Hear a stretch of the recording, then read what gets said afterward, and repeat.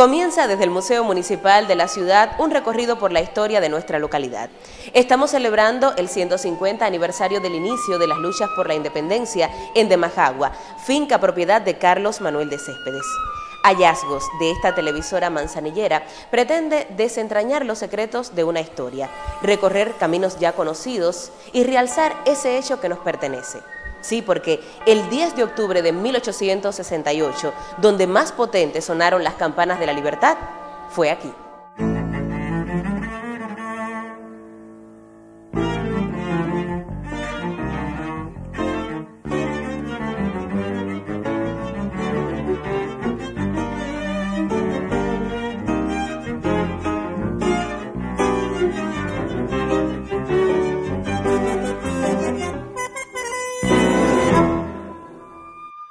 Un placer encontrarle acomodado en el asiento de su televisor. La historia de nuestro terruño permanecerá en tanto nosotros nos encarguemos de conocerla y divulgarla. Un conocedor de nuestra historia lo es sin dudas Delio Orozco González, historiador, especialista del Archivo Histórico Municipal y amigo de nuestro programa. Muy buenas tardes, Delio. Buenas tardes. Gracias por aceptar la invitación de nuestro programa, teniendo en cuenta que estaremos dedicando todos los meses un espacio a este hecho tan importante, al 150 aniversario del inicio de las luchas en, la de Majagua por Carlos Manuel de Céspedes y luego seguiremos a propósito del bicentenario del nacimiento de este prócer de nuestra historia. ¿Te comprometes a estar con nosotros? Desde luego. Coincidirás conmigo, Delio, en que Carlos Manuel de Céspedes es la figura principal de este hecho nace en Bayamo, pero ¿cómo es que llega a Manzanillo y cómo es su niñez y su juventud?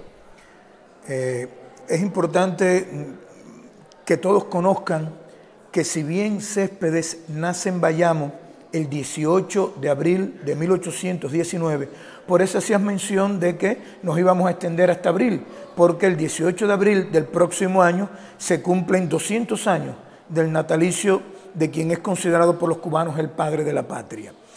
Eh, hay una novela de reciente publicación, la primera novela que se escribe en Cuba de un joven bayamés, Evelio Traba Fonseca, donde se recrea de manera excelente eh, la niñez y la juventud de Carlos Manuel de Céspedes.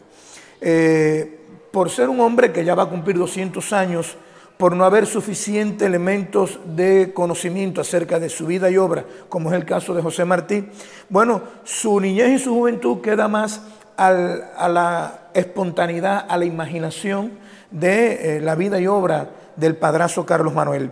Lo cierto es que como todo niño corrió en, su pueblo, en su villa natal, montó a caballo, fue al campo, hizo los primeros estudios en una pequeña escuelita eh, de hogar eh, después iría al convento de Santo Domingo a iniciar los estudios con un poco más de, adesentamiento. Iría al seminario de San Carlos en Santiago de Cuba y partiría definitivamente hacia España en el año 1840 para terminar allá sus estudios de derecho. Es importante eh, conocer que en 1839 va a contraer matrimonio con su prima hermana de doble vínculo porque era hija de su tío José Francisco de Céspedes y de su tía Catalina del Castillo. Pero de este tema seguiremos conversando más adelante, Delio, sobre todo cuando, cuando realiza las primeras nupcias. Eso será tema para más adelante porque, como en todo programa, tenemos algunos apuntes que han sido descubiertos por nuestro colega Lázaro Manuel. Adelante. A los pocos años de nacido, los céspedes se trasladan a una finca campestre de la familia, donde desarrolla su infancia. Se dice que este cambio fue consecuencia de un ataque de corsarios a Manzanillo, que repercutió en las familias bayamesas ricas. Otros dicen que el establecimiento en la finca del padre de Céspedes se debió a la necesidad de recuperar su disminuida fortuna. De cualquier forma, los cinco primeros años de vida del niño se desarrollaron en plena naturaleza, mimado y atendido por una negra esclava. Esta le servía de haya y alimentaba su imaginación con la inagotable tradición oral de la región, repleta de cuentos y leyendas de huijes, madres de agua, lagunas habitadas por babujales y torres misteriosas. Gracias Lázaro por haber compartido con nosotros estos apuntes de la vida de Carlos Manuel de Céspedes y de paso te comprometo para otros espacios. Yo continúo la conversación con el historiador Delio Orozco González. Delio, ¿cuándo llega Céspedes a Manzanillo? Mira, debe haber sido entre mayo y junio de 1852, por una sencilla razón. En la iglesia están los libros de bautismo por Antonio María Claret, que era eh, eh, obispo de Cuba en ese momento. Y entre mayo y junio, sus dos hijos, sus dos hijos varones, Oscar y Carlos Manuel de Céspedes, fueron confirmados ahí en la iglesia. Por tanto, entre mayo y junio de 1852, ya Céspedes está aquí en Manzanillo. No viene la pequeña hija hembra porque ya había muerto. O sea, ya en esa fecha, vuelvo y repito, entre mayo y junio de 1852, por decisión española, le dan a Manzanillo un poco como eh, retiro y castigo, pero va a ser el momento en que Céspedes va a comenzar a convertirse en lo que después sería. Ya está Céspedes en Manzanillo, es abogado, ya comienzan a aflorar sus ideas independentistas. ¿Cuándo contrae entonces sus primeras nupcias y con quién? Bueno, si ya Céspedes viene con sus hijos, pues ya evidentemente había contraído nupcias con eh, María del Carmen, que es su primera esposa, y la madre de sus tres primeros hijos, Oscar, Carlos y Carmita, que falleció muy pequeña. Él se casa con ella en 1839. Ella tenía, eh, en ese momento, había nacido en el 21 y, ella había, y él había nacido en el 18. O sea, eh, y incluso es una, una relación difícil porque se casan en el 39 y él parte en el 40 hacia, hacia España. O sea, hay un momento, aproximadamente tres años, en que el joven matrimonio se separa. El joven matrimonio se separa. Y bueno, ya viene con ella, pero no solamente viene con ella y con sus dos hijos a Manzanillo, viene con su madre también. Y muchos otros de los familiares vienen también a Manzanillo. Ya el padre no viene porque ya el padre había muerto y eh, antes de radicarse aquí en Manzanillo había fallecido su padre, don Chucho.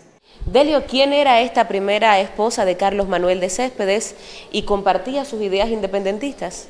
Ya habíamos comentado anteriormente que era prima por doble vínculo, prima hermana de Carlos Manuel de Céspedes. Costumbre entre eh, la, la familias patricias y fundadoras para mantener en el clan eh, los beneficios de la herencia y de las propiedades.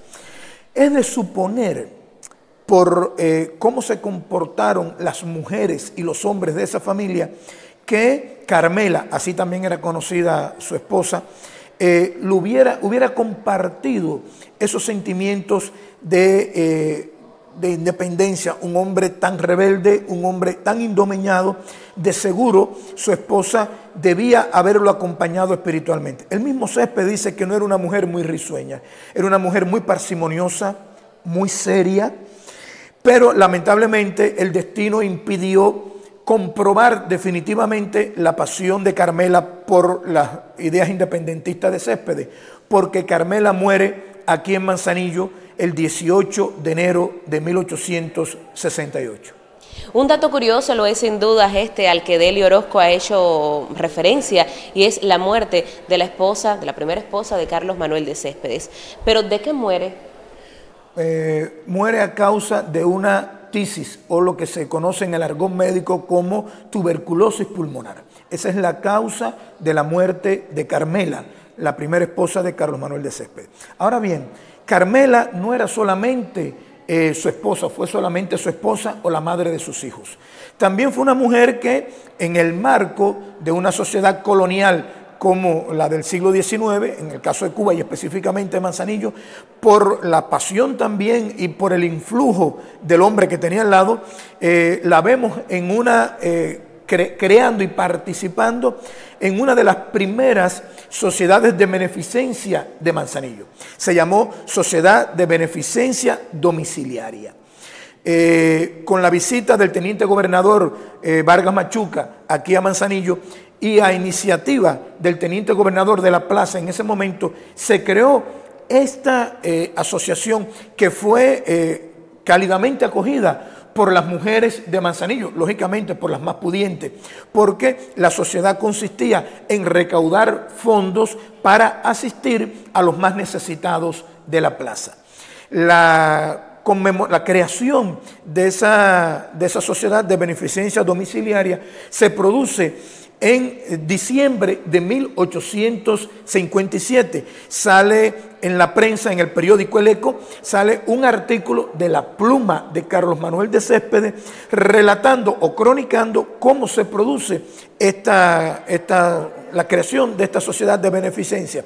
Después de escuchado las palabras del teniente gobernador después de eh, que se termina, que se aplaude y que se reconoce el hecho importante de la creación de la sociedad beneficencia en la cual Carmela era secretaria de esa sociedad de beneficencia, bueno, pues todos salieron del brazo de sus acompañantes. Me imagino que Carlos Manuel la llevara del gancho hacia el baile que se ofreció en la Sociedad Filarmónica en, ese, en, esa, eh, en esa tarde fastuosa para el inicio en Manzanillo de una de sus primeras sociedades de beneficencia domiciliaria aquí en Manzanillo. Delio, ¿y hay algún escrito, algún manifiesto que haya quedado eh, que, que refleje el dolor de Céspedes tras la temprana partida de su esposa?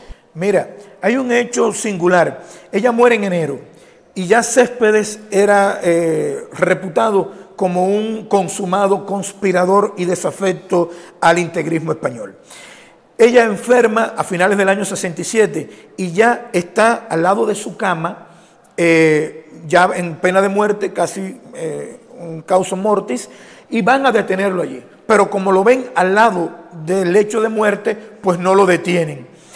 Eh, lamentablemente no tenemos elementos para decir cuán doloroso pudo haber sido. Lo cierto es que impactó sin duda alguna en el imaginario emocional de Céspedes. Y te digo esto porque ya cercana a su muerte, en 1874, escribe en su diario que en un sueño se le apareció Carmela. O sea, él no recuerda, dice que fue en los campos de Cuba Libre, se producía un casamiento, él se iba a casar con alguien que no sabía quién era, y en el momento en que se van a producir los esponsales, esto es el sueño de Céspedes, premonitorio a su muerte, se abre la puerta del recinto eh, matrimonial o aquel y se aparece su esposa Carmela, tan seria como era ella. Y en ese tumulto y en esa eh, eh, circunstancia extraña, bueno, él llega hacia ella, se arrodilla y le pide perdón.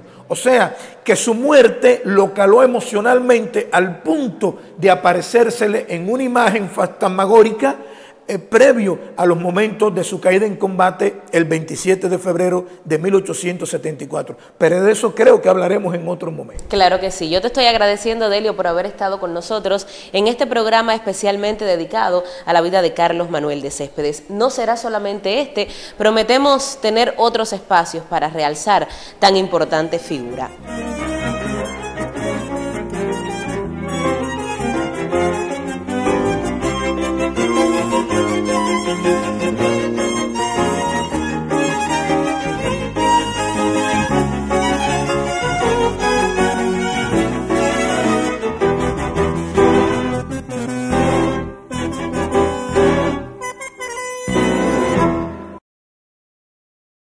De esta manera nos despedimos, prometiendo estar el próximo miércoles y de paso comprometiendo también a Delio Orozco González a estar con nosotros en la última semana del mes de febrero donde volveremos a tocar este importante tema a propósito del 150 aniversario del inicio de nuestras luchas libertarias y el bicentenario en el 2019 del nacimiento de Carlos Manuel de Céspedes. ¿Estarás? Así será.